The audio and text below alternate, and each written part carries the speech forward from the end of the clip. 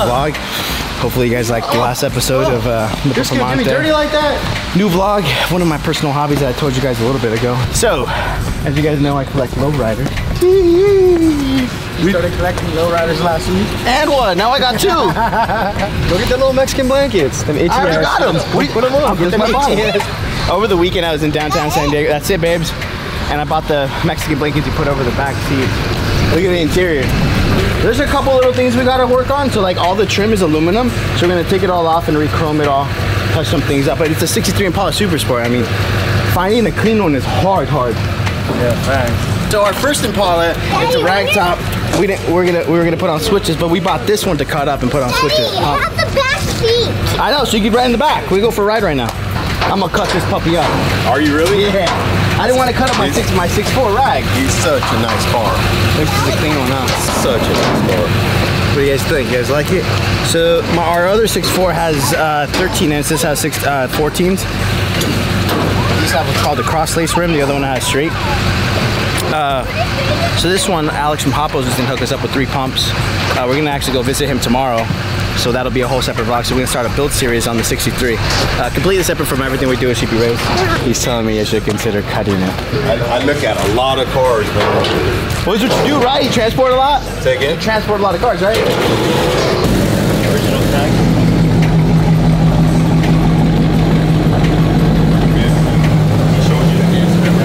Okay, so turn your wheel just slightly to your left.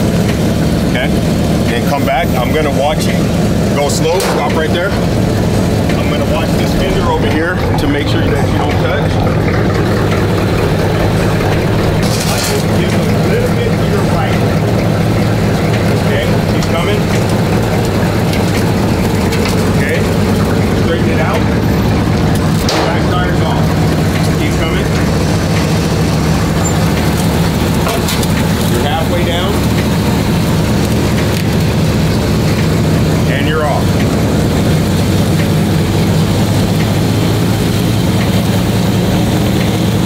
Everybody, this is Alex from Hoppos. What's going on, man? How are you? Good. Dude. Impressive, bro. Yeah. That's whack. That's cooler. It's a whole different level. You like, I mean, we build cool shit, but everyone wants this. And I want that. And I mean, and I build this every day, so it's like, And I build that every day. yeah, so it's funny how that works, right? Man, So this is Alex from Hoppos. He owns a manufacturing company that sells lowrider parts. Look him up. Uh, you, come highly recommended in the industry. yeah, I've been around for a while. Is it a They're- family scene or what is it? Yeah, so my dad originally started, uh, shoot, we're going on 33 years now. So he started originally in his garage. You know, you know the struggle, yeah, growing and growing it. And um, you know, a few years back, uh, he actually got sick. He had a heart attack, and he was actually thinking about shutting down. At this time, I was like coming out of college, coming out of school, and I'm like, I didn't know what I really wanted, but I knew I had to deal with cars, and my mom was pushing me to go to school. I was like, yeah, college degree, college degree, college degree, you know? Yeah, yeah, yeah. And then It's typical family. family thing, Right, yeah. And then you know, I just wanted to work with my hands. I was, I want to build cool stuff, and it's kind of just evolved. Like, kind of you know, talking to dad, like, hey, I want to be in full time on this. How old? Like, I'm gonna be 32 Cool, cool, in a cool, few days. Yeah, Good for you. yeah. So it's kind of evolved like that. Yeah, you know, yeah. it's kind of like I mean, your, your story too. You Very know, similar, yeah. Yeah. So that building you guys moved into, I wanted that one day. Really? Yeah. That's crazy. I wanted that same fucking building. See, and it's funny because we looked at that building a few years back, and we're like, oh man, that's like it's out of our league. Same you know, thing with us. Yeah, we That's used to drive by dreaming about it. Like one day we're gonna end up there. Because to me, it was like all of us were like, "That's the location, like off the freeway." Perfect, yeah. it was cool, man. It really Good was. for you, bro. So- Hard work, dedication. Yeah, so we ended up in this building. Yeah, no, this thing's freaking. So our old shop was just a mile down the road. So. Okay, so you've always been out in this area. No, no, we moved out here four years ago. Okay. So I started in my garage in 2011. Yeah. I stayed in my garage till May. I I met you actually back in the Honda days, way back. really? Yeah, yeah, I met you way back. I want to say it's at I don't know, possibly Fontana or something. I mean, you had you're you're big in the Honda back then. Yeah, it was. Yeah, yeah. Yeah. So I started with Honda, then I opened my first shop uh, April of 2014 because that's when my son was born. And then we stayed at that shop till 2017. Okay. Then end of 2017 we came out here. Then we came out here in what February? Yeah. March. March. Yeah. So we've been here. We're still getting set up. You know, getting the shop running. So this is our showroom, the cars that we're building and stuff like that, or, or for sale or change. Uh, so all our engine building is in that area. We spent all the money on the equipment. Right now we're waiting on a lot of machines, so we'll start doing our own board. Forklift. Okay. Valve jobs, the whole. Hey, uh, I'll it around. you want to pull out the truck or do Yeah, the tour it after? right now, So what we're gonna do is just unload it and just put it like right there. Literally put everything on a pallet? All about it. Hell yeah.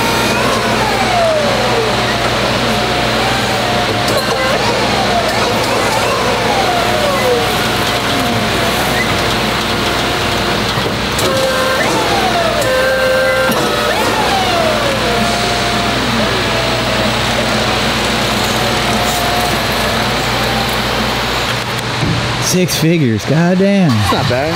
4,500 bucks. Thank you, brother. Appreciate you. So this is a wiring schematic for what we got to do. He gives us two weeks. Challenge accepted. Saturday, I'm telling you. Or 50% of your money back. So battery, battery, battery, battery, battery, battery, battery, battery. Alternating. The positive goes to negative, positive goes to negative, positive goes to Are all 24 volt. So everything's gonna trigger off your 24 right here. I was talking about sharing the ground here. So pretty it. much this would be like your left bank, that'd be your right, bank. Yeah, I get it. So you're just sharing your ground just so when you quick do your quick disconnect, it kills all power. So this part is the easy part. I'm gonna send you the diagram for because you need it in color. I only got a black and white printer. Um, I'm gonna send you the diagram for the actual wiring wiring to what? switches. Understood. Where do the switches go to these? The switches, so yeah, you're gonna trigger your ups off of the solenoids right here, Uh-huh. and then your downs would be controlled off a dump switch you don't see on the diagram. Understood. And what's the gauge on that wiring?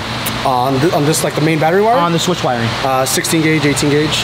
Yeah, so still relatively thick. Yeah, it's a, you're only triggering for like literally a millisecond on the. Have you ever seen like how they wire race cars?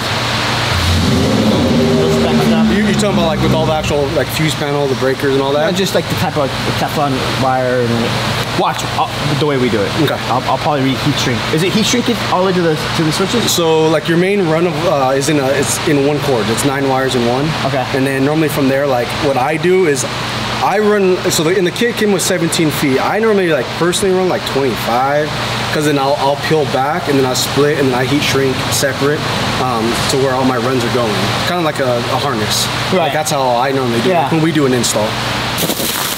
I'm gonna guess this is the. Uh, That's your drop shot. cool. Let me get the a cutter here. All right. So we'll start with this one. We just open each box. Yeah. Yeah, we figured we'd make it like a uh, series of build on this for our followers. So people, our followers like to see just car in general. Yeah, that's how ours are too. You kind of just toss everything. So I had the guys fully assemble them for you. Dope. So I'll save you guys some time. Those are nice. So these are the pumps. These are the pumps, yeah. All right. So you want to kind of walk people through what you guys want? Mother heavy, huh? yeah.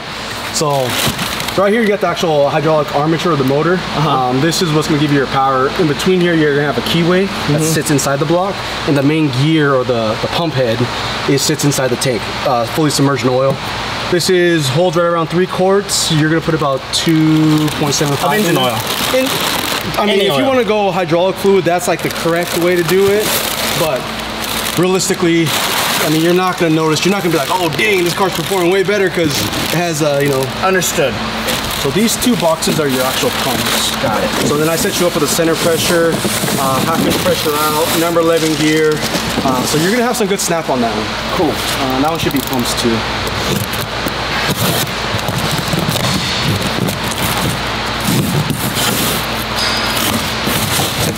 All right. So we got Four pumps. Yeah, I got four pumps in there. Man, this is easy. You're gonna start jumping into it. Nah, you know what? We're so busy. Thank God. I I, I want to keep this as a hobby. You know. I heard you change your Instagram to Soto the Lolo. Yeah, so these are the fittings I told them to kind of, yeah, they did. Kind of mock them together for you guys. So we upgraded all the check valves. So these ones are all gonna hold higher pressure. Um, these are gonna also have higher flow. Got it. So, like, So Jason, our chassis guy, used to build mini trucks in the '90s. Okay. So he actually knows this. Oh, so yeah. Yeah, You so- guys are gonna be good, man. What is this string out there?